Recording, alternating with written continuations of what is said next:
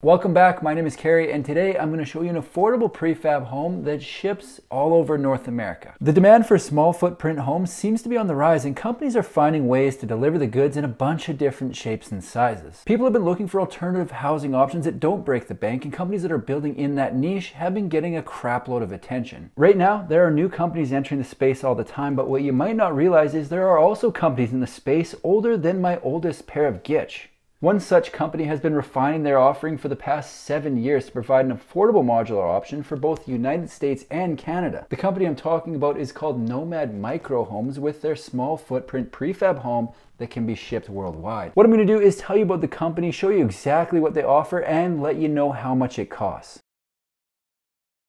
Nomad Microhomes is a prefab company that have designed a modular tiny home that doesn't compromise on quality or affordability. They were founded by a husband and wife duo who are on a mission to change lives one tiny home at a time. The website says with their collective years of real estate experience between them, this dynamic husband and wife team brings to the table a wealth of knowledge and expertise in development and marketing architecture, and interior design. Co-founder Ian explains, our experience in real estate development made us realize that the lack of affordable housing would soon become a significant problem across North America. We also realized a solution existed using well-designed smaller home spaces, prefabrication, and advanced technologies. An architectural challenge they found too fascinating to ignore. So here we are. They prioritized a small design because they knew it would have a direct effect on construction costs, and then to hit a number that people can work with, they took it a step further. Nomad identified labor as a significant cost chipping away at people's pocketbooks, so they designed a system that could be handled DIY, which is do it yourself. Listen, I like the idea of people being able to save a few racks by putting it together themselves,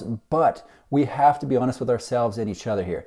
DIY isn't for everyone. Before you dive into a project like this, tip first, please give yourself a real assessment of your skills and time because some people have it and some of us don't. I'm sure their system is user friendly, but if you have to quit your job to get it done, does the math really make sense? It's noted that they do have user friendly instructions to facilitate quick assembly with handyman level skills, which honestly I do not have. My hands literally cramp up editing videos. Does that make me soft?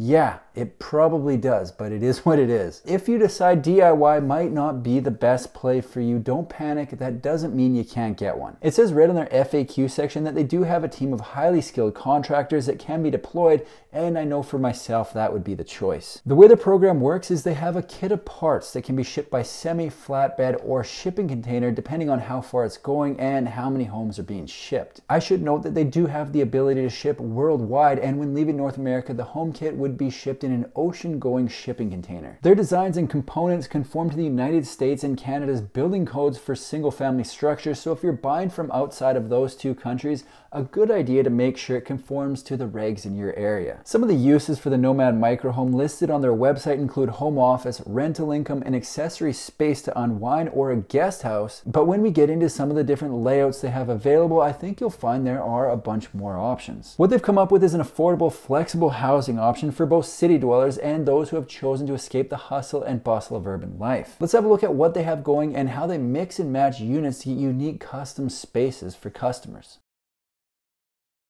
Nomad microhomes have a structure called the cube. It's the base from which everything else is built. The structure of the cube is built with their patented system using 3D printed steel framing and exterior insulated steel panels. In order to keep the shipping costs under control, they leave some of the heavy bulky items like drywall to be purchased wherever the home is shipped to. They have a full list of specs on their website so buyers can fully understand what's included in the kit and what has to be purchased locally. Like I said, the entire offering is built around their cube model, which has a footprint of 13 and a half feet by 13 and a half feet, but they pack more room into the space with a loft. The website lists the floor space of the cube at 300 square feet, and the way it's set up is exactly as described, a cube or a square. The base model has a door and window on the front, window on the back, and two windows on the front in the loft levels. So for the space, definitely no shortage of natural light, especially since the base cube is wide open. This is the unit people are gonna use for things like a home office or gym, or a space to delete a few beer with friends. These uses are what they call an accessory space. You're adding an unattached room to an existing home. From there, you jump up to the Cube Live, a full-on dwelling that has everything you need to live in the cube full time. The description says slightly larger than than a garden shed, Cube Live makes an ideal home for both backyards and recreational properties. This is usually the point in the video where people chime in about the inability to put these homes anywhere. And while they're pounding away on the keyboards, people are out there actively putting them places. Let's keep in mind if they couldn't go anywhere, these companies wouldn't exist.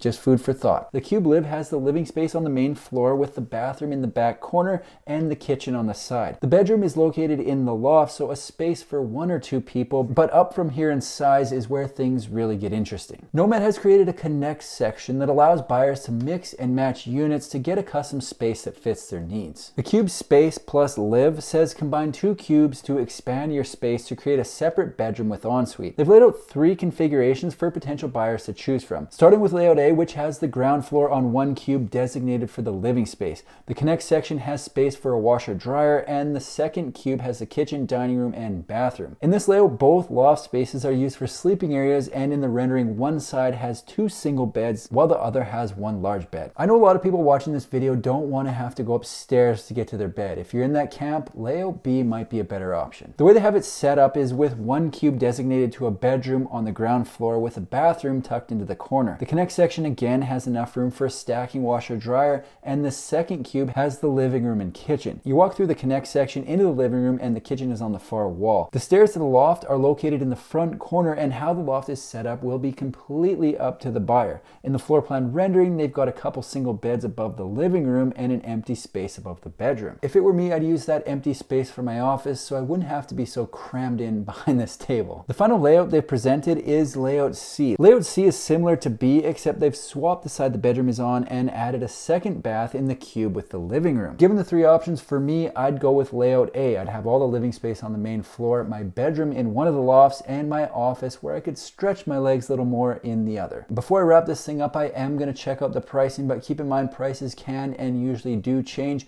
but will be accurate at the time of posting this video. I was on their website and they do have a sale running right now where you can get $7,500 off a unit, but I have no idea how long that's gonna last. The Cube Space starts at $42,300. The Cube Live starts at $52,300. The Cube Live plus Space Layout A starts at $94,600. The Cube Live plus Space Layout B starts at $99,400. And the Cube Live plus Space Layout C starts at $99,400. Keep in mind that's what their current sale price is applied. Also noteworthy on top of the cubes, Nomad offers furniture that can be shipped with the home. I like this because you know they've included items that will work well in their spaces. So if you're looking for a convertible sofa bed, solar backup, or even full off-grid package, those are all things that can be purchased directly on the website and shipped out with the kit. Kind of a cool feature. Nomad Microhomes is a prefab home builder shipping flat pack tiny homes worldwide. They have a cool system that allows buyers to mix and match cubes to get a layout for whatever they're trying to accomplish and can be set up DIY to save cheddar. I think people are going to cook up a bunch of different uses for these structures and with the sale they're currently running, they're probably in for a busy year. I like the idea of being able to mix and match cubes to get exactly what you're looking for, so I'll be following along with what they're up to and posting updates right here on my YouTube channel. That's all I've got for today. If you like manufactured home videos, make sure to subscribe to my channel because I've got new ones coming out every single week. Thanks for watching. See you in the next